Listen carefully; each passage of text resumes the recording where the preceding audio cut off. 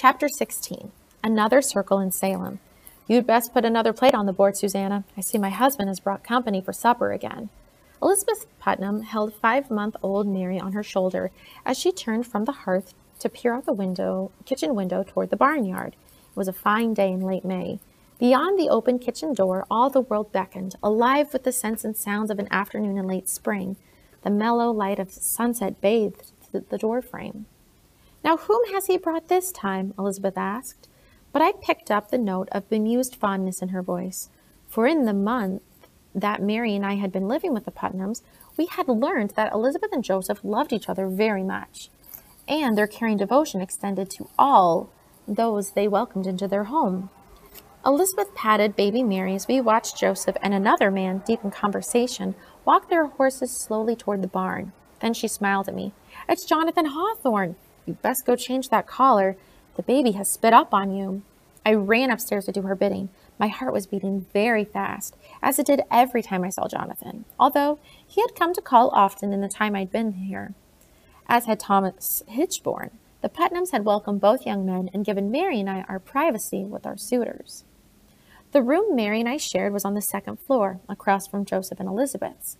Indeed, they had done their utmost to make us feel like kin, I had many bitter moments when I warned, mourned Mama, who was still in Salem prison, and though we didn't know where Father was, though matters in our own community were moving swiftly toward even greater turmoil, in this sturdy three story house, we felt protected.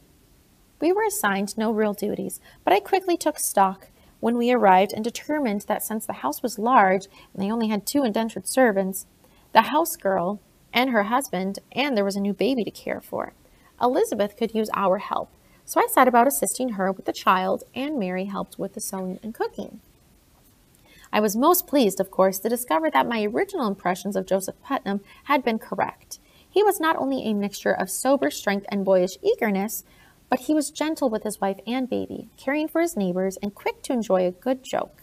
He behaved toward us in the manner of an older brother. Elizabeth, meanwhile, took the role of an older sister, glad to have two females about who were not servants and in whom she could confide her secret joys and fears. Mamma had been right in wanting us here, I decided. I changed my collar and brushed my hair. In the time I had been here, I discovered something else that warmed my heart. Joseph Putnam was emerging as the leader of a new circle in Salem. The circle, as I perceived it, was composed of people who knocked on his door in the middle of the night, who sat with Joseph by candlelight in his library, talking until dawn, when they appeared at the board for breakfast. Others rode to his place to talk with him in the barn, while their wives came and sat midday to speak with Elizabeth. These were people like Reverend Jonathan Hale from Beverly and the kinsman of Rebecca Nurse, and Thomas Maule, a Quaker, who held with the belief that the witchcraft business had started from petty hatreds in the neighborhood. Some were people who had once come to Mamma's shop like Reverend Wise of Ipswich, who had spoken in behalf of John Proctor, and Reverend Francis Dane of Andover, who was trying to caution his flock about the witch panic. And there were others who corresponded from Boston. One name I had come to know was Thomas Brattle, a merchant and learned, learned mathematician who was about to be named treasurer of Harvard College. Another was Robert Calef, a merchant friend of Brattle's, who was equally outspoken against witchcraft. I sensed, though Joseph had not actually told me, that these people were all working quietly in the background, waiting for the right moment to step forward and take a stand. Every Monday morning, Joseph took us to visit Mamma in Salem prison. We were allowed only one visit a week by the authorities, but Mary and I made the best of it. Mary cooked delicacies to bring. I took bundles of clean clothing. We knew Mamma shared the food, but we did not chide her. In prison with her were Sarah Morey, Lydia Dustin, Susanna Martin, and Dorcas Hoare, along with Margaret Jacobs and Mary Esty. While we visited with Mamma, Joseph visited with the male prisoners. When we took our leave, he paid the jailer two shillings and sixpence, which was Mamma's board for the week. Father had left money with him for this purpose, and any other concerning our family. If Joseph knew where father was, he did not divulge this fact to us and Mary and I agreed we would not badger him to tell us. And so the weeks of May went by. Many times, sensing that Joseph and Elizabeth were working as leaders of this new circle, I had considered coming forth and telling them what I knew. Then I thought of Mary Warren, who had tried to recant her testimony. I pondered how the magistrates had badgered her. Finally, she broke, Denying that her original testimony had been false, she started talking about shapes hovering over her again. The magistrates were happy. They announced that she was cleansed of her sin and rejoined the circle. So then, who would believe me? Joseph and Elizabeth, yes, but father was still in danger. The magistrates had widened their search for him to include Boston, and there was Mary to think about. I did not care for myself, but I could not risk the girls crying out on Mary, let alone brother William when he returned. So I kept my silence. The time for speaking out would come, I told myself, and when it did come, I would know it. We were at the Putnams only two days when I learned something else about them. One morning I'd gone to the hen house to collect eggs so Mary could make breakfast.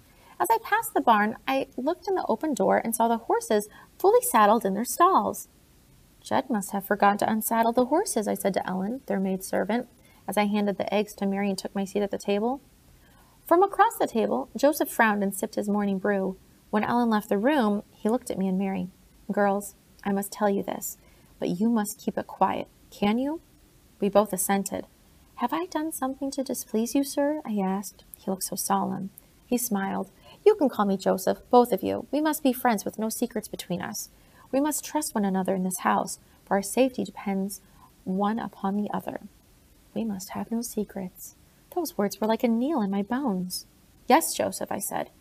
I keep my horses saddled at all times, and we've bags packed. It would please me if you would both pack bags and leave them by your bedsides. Elizabeth is able to use a firearm. Are either of you? I stared at placid, sweet Elizabeth. She smiled back. No, I said numbly. Mary shook her head and stared at him wide eyed. I shall teach you both. Has it come to this, then? I asked. Mayhap it will. Being related to my brother serves me no longer. I've alienated us from the authorities by the stand I took. If we are accused, we intend to flee in the night, and you will both come with us. Yes, Joseph, I said. I tied a ribbon in my hair. Blue. It had come from Mamma's shop. I went back downstairs. In the kitchen, Jonathan had seated at the table with Joseph and Elizabeth. Hello, Susanna, he said. He and Joseph had been deep in conversation. No doubt, Jonathan appreciated the older cousin he had in Joseph. For though he still lived under his father's roof, the elder Hawthorne had all but disowned him, and it pained Jonathan greatly.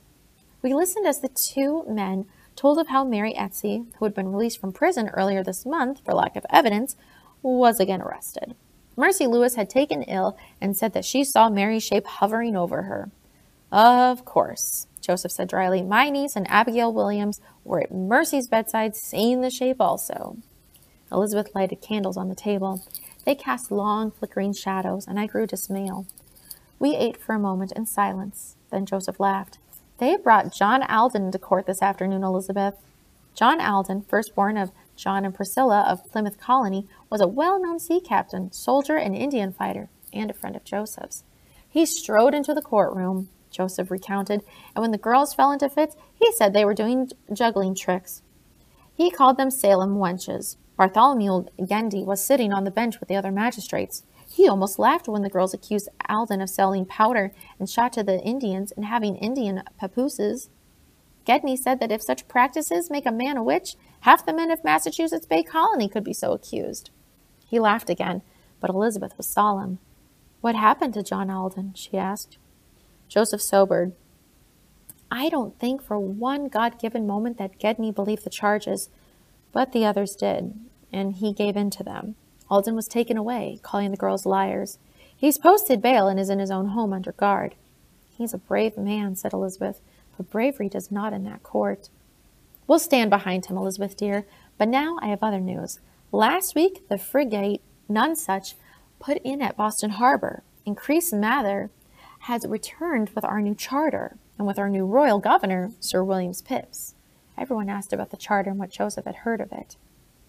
We will still be allowed to elect our own representatives to the General Court of Massachusetts Bay Colony, he told us, and all our land titles have been reinstated. But hear this the electorate is not limited to members of the covenant.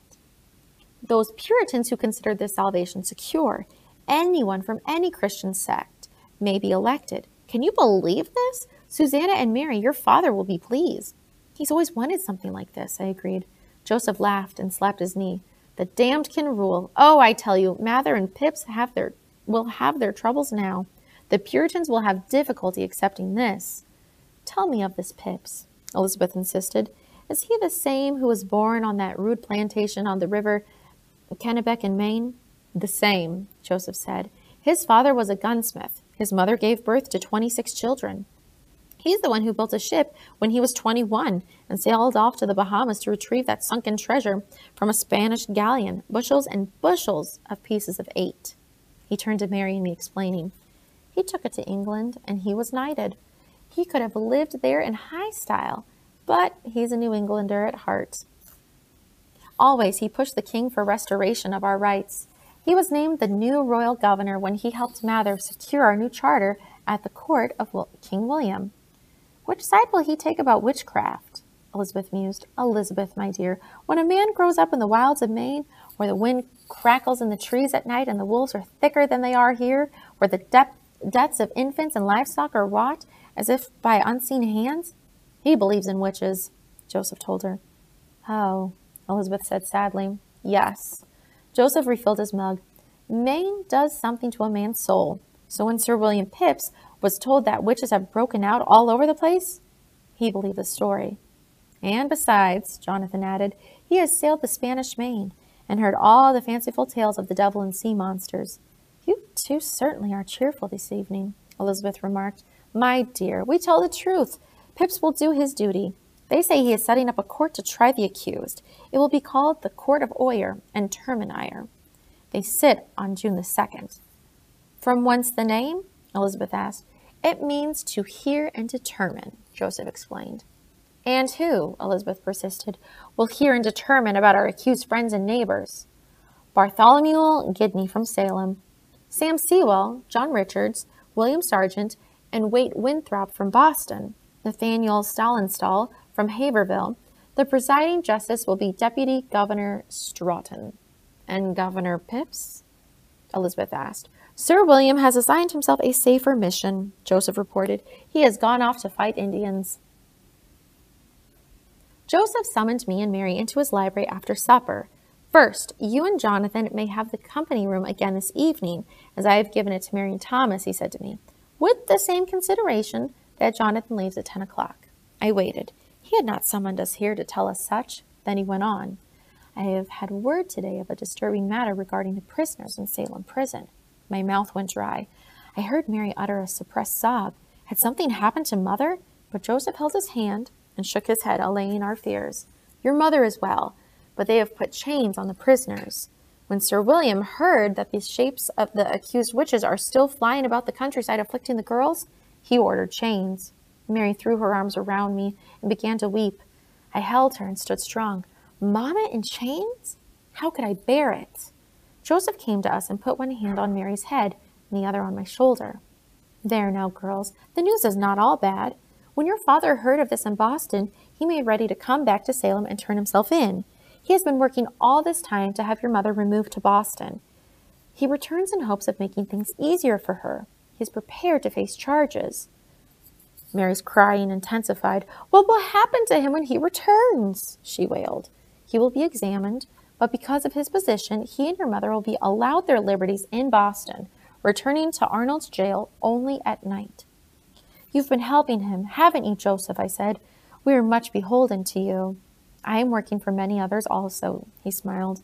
You girls must have some sensible of that. I wanted to prepare you both, this evening, for the fact that your father may be knocking at our door any night now. I wanted you to be ready to receive him. Mary, you're to go with your parents to Boston, I understand. Is that so? Mary wiped her eyes. Yes, sir. Susanna, as I understand it, your mother said you may stay with us. We are happy to have you. But are you sure this is what you want to do, child? Yes, sir, if you'll have me. He nodded solemnly. We're glad to have you. Now go and help your sister pack her things.